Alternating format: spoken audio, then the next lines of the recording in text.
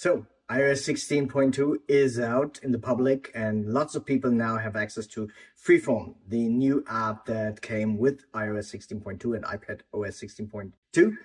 And I already made the master course for this new app. You can watch it here. Since then, a lot of people have asked me, you know, how does this app compare to professional apps for collaboration and using whiteboards? And especially people came to me and asked, how does it compare to Miro? And I'm actually a bit flabbergasted by that one because I thought Miro is, in my eyes, a totally different kind of app. It's a totally different approach on how to use collaboration and a whiteboard. And let me show you why. I think this is actually comparing apples and oranges. You know, it's, it's, it's, it's an unfair comparison. And that's what we are about to do here. We are doing an unfair comparison. So let's compare how Miro, the leader maybe in this kind of apps, is comparing to the new competitor Freeform. Is Miro the king of the freeform whiteboard collaboration apps? Is it eating the newborn freeform, which is out just about a week if you don't count the beta phase? Or is the new app freeform capable of challenging Miro? Let's find out. You see, Miro is basically not a free app. Miro is an app that wants you to pay something. So let's go into the pricing here. And you see, you have a free tier. I wouldn't call it actually free tier because you're limited to three editable boards. So the last three boards you create are editable and all the others are read-only. So if you aren't working on three things at a time, that might be for you. For all others, that just means it's just a trial. It's not a free tier, it's a trial tier. So I would just say, you know, just try it if it works for you, but think of Miro actually as a paid app that has a starter tier at 8 bucks and a business tier at 16 bucks. They want you to shell out 8 or 16 bucks. That's a non-starter for some of you. So Freeform, which is free because it is included in, in Apple, is uh, attractive. So here are all the features you get and an extended description of what is there. And as you can see, there's a lot going on here, a really a lot to go. The next question is, on which platform do you want to use one of those apps? So Freeform, of course, is Apple ecosystem only.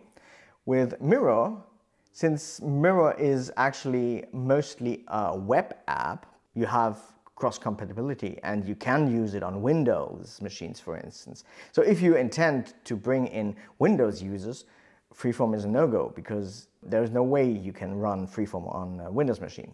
So if you want to use a Windows or an Android system, you need to go with a solution like Miro. That could also be a decision point for you. So once you made a decision whether paying for an app essentially and the question of cross compatibility is important for you. So once we have that out of the way, let's try to compare them as good as we can.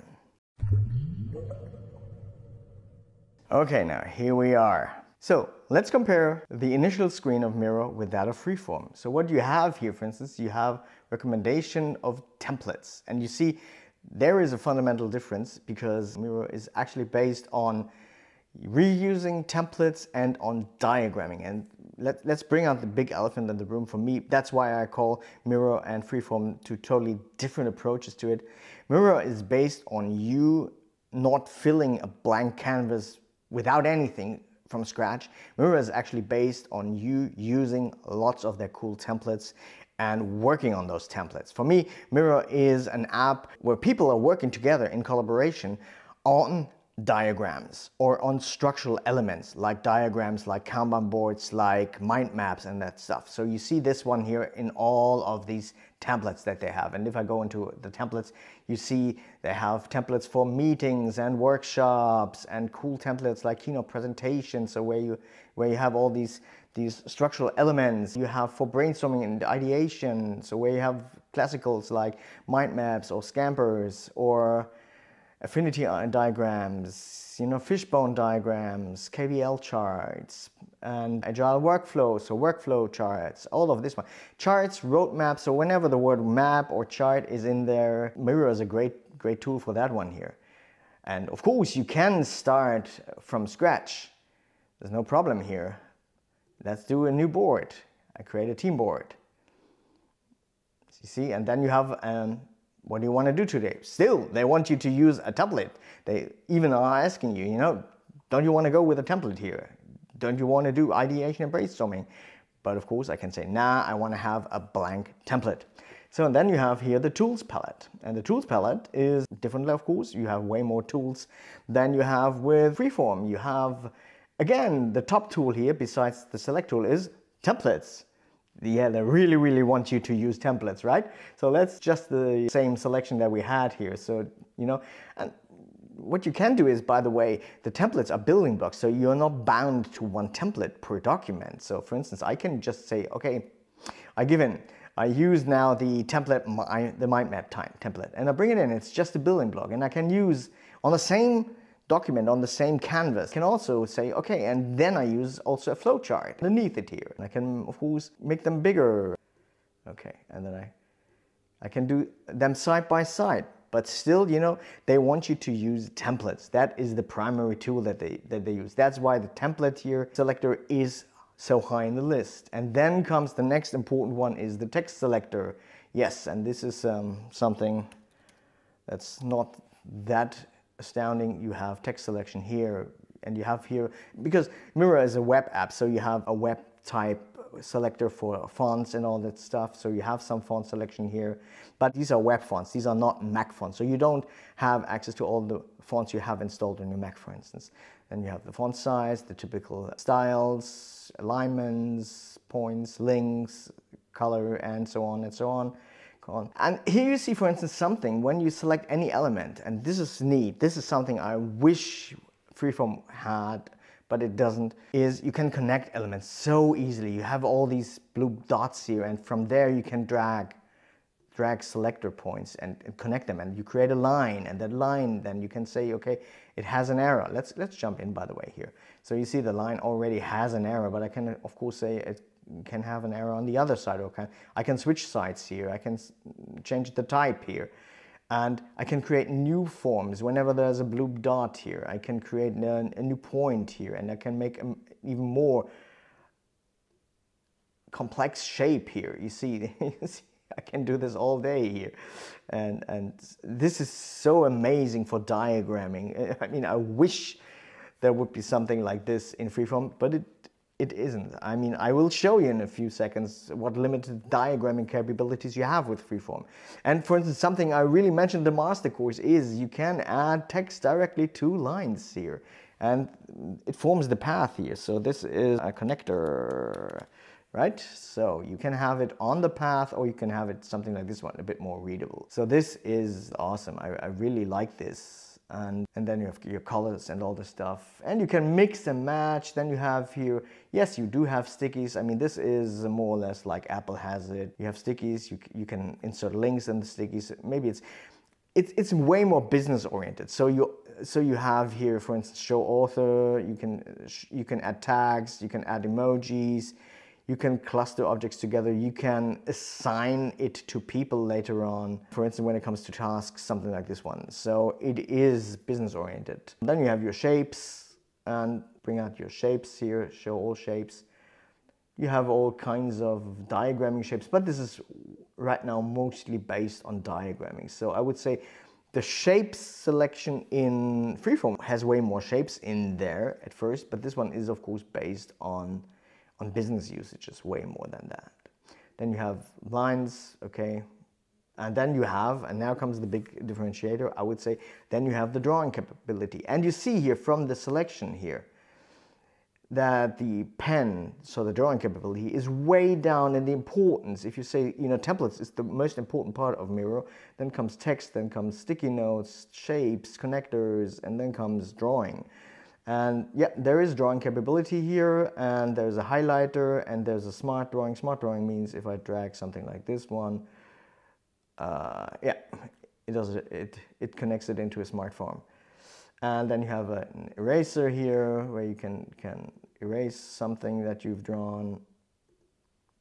You see, and that's it. And then you have a selection tool like exactly like you have in, in freeform where you can move stuff. But you see the pen, you only have actually one pen. Then you have here three, three setups. So you have a th thin black pen, but you can of course change the color. You have a red pen with a bit more thicker and a very thick green one. And of course you can change it, but you can only have three here at a time and the color selection is uh, different and not as nice as the one on freeform. So I actually say this is the big difference here.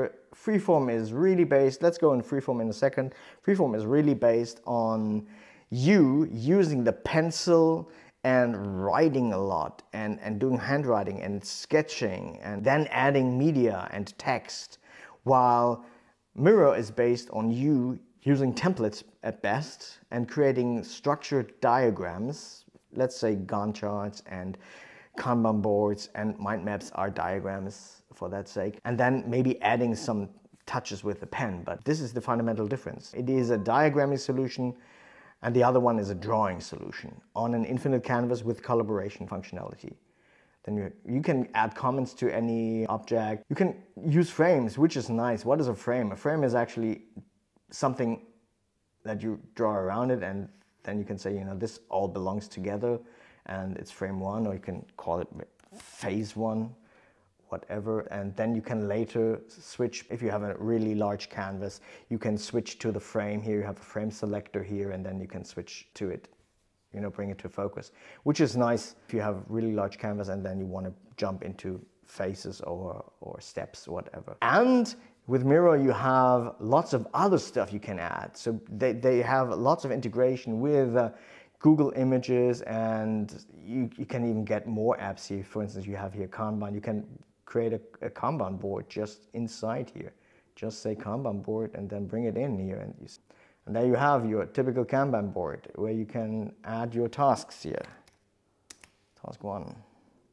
And then you can move it from progress to done. You see, and replicating this in, in freeform would be would really pain because uh, you know all of this the smart functionality for instance that you can you know swap cards easily in, in a mind map that you can collapse branches and all this stuff. That's not available in freeform. Freeform is is more uh, based on the drawing on using the infinite canvas as a drawing tool. You can add text, you can add sticky notes, you can add shapes there, basic shapes, you can add media files and all this stuff, but you can't really create a great network diagram. I've shown you in the master course how to do simple diagramming, but it's really simple compared to this one here. You have real table support, you have mind maps, stickers and emojis, and all this nice stuff here. You have also here your col collaboration, so you can invite people here. You can invite, yeah, I have to rename this here. And then you can invite only by email. With Freeform, you can invite through iMessages, for instance, also. This one here is only by email. I think that's no big deal. When it comes to, to collaboration, they're pretty good, both of them. So I would say the collaboration itself is comparable. So let's jump into freeform. Let's create a new board. And you see here, it, it looks way cleaner. It has way less tools and no templates. Actually, that's, that's sad. But it is an infinite canvas where you're creating something with a limited set of tools, like, for instance, in this case, since I'm on a Mac, I'm not even having access to writing tools, which is really sad, Apple. I mean, they, they really want you to use it on an iPad. Let's, let's be honest here. So I could only add shapes and, you know, basic shapes. And yes, you have a connector here. Let's, let's do this one. Let's do, let's do two shapes here. You can do this. Yes, you can align them and you can add a connector line here, but you know, you, you see it's way more clicks and it's way less elegant and I can't here insert more points. I, you see, if, if I want to have a way more complex line, I need to, uh, I don't know actually if, it, if that is actually possible. So forget about this. This tool is, Freeform is, if you have an iPad and you're using your Apple Pencil. That's it. That's the tool you're using for, for, for creating these beautiful boards. And the proof itself is on the web pages of those two companies. You see, if we're going, if you're going on the Apple website, you see, that is, this, this here, that is the typical product they think you should create with Freeform. And you see here, it's lots and lots of handwriting, some sticky notes, some images, some media, but the main focus is on people working together on an infinite canvas using the pencil and writing. And uh, if, you are, if you have a Mac, you're either using the associated iPad to write something or you're just commenting via text, you see. But that is what you should create with Freeform. Now let's compare that to Miro. And you see, now we're here on, on the Miro webpage and you immediately see this is what the Miro people think you should create with their app. It's a totally different approach. There is no handwriting here. There is clear-cut diagramming. There are you know charts, flow charts, something like this one, or even see this one here. Use it mostly in a corporate environment. That's why, for instance, they go also with the subscription-based approach here, where you can use it on on on large monitors or screens. And so I see. I think this picture, this comparison, this comparison speaks for itself. You have these neat diagrams with Miro, and it's an excellent solution for that one where you can use collaboration and where you where you're working as a team on structured elements, structured diagrams, Kanban boards, mind maps, and all this stuff. And on the other hand, you have the limited, maybe, but more creative approach using the Apple Pencil and people writing together on their iPads and you bring in media and all this stuff, you can use this. You, you can incorporate pictures and, and videos and images and, and documents, but it's mostly using actually the Apple Pencil and then writing on an infinite canvas on a whiteboard. So that's actually my comparisons. That's why I say you can't compare them. So let's come to a conclusion. As you've seen, I think both of these apps have a totally different focus and a totally different approach on how to use great infinite whiteboard with collaboration feature. I would actually say you have to select the tool for yourself. There is no clear winner. There can be a clear winner for you, but if your needs are different, maybe you go with the other tool. So I would say a clear winner for me is when it comes to either cross collaboration. So using Windows and Android users, and especially if you are in need of diagramming and, and working, especially in a business context with people on diagrams like or on structural things like mind maps, Kanban boards, fishbone diagrams, process charts, workflows, and all kinds of diagrams. I will put all of this in a bucket and call it diagrams. If you use this one, Miro is the way to go. It's an awesome tool for that one. It's so easy to use, so easy to learn, and the work is done so fast. So if you need to create something like this, you shouldn't go with freeform. I mean, you can do something like this with freeform, but it is way more complex because you only have the basic elements and you need to do all these connectors and, and, and descriptions more or less by hand.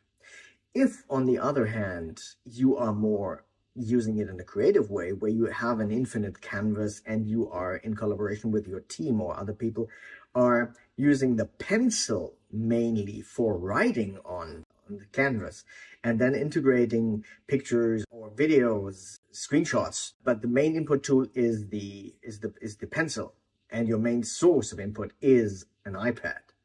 And of course you, all of your participants are using the latest iPad OS or Mac OS version, and you are only inside the Apple ecosystem, then Freeform is a great tool.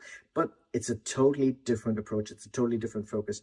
So in my case, I would say you find out what your needs are, and then you pick the right tool.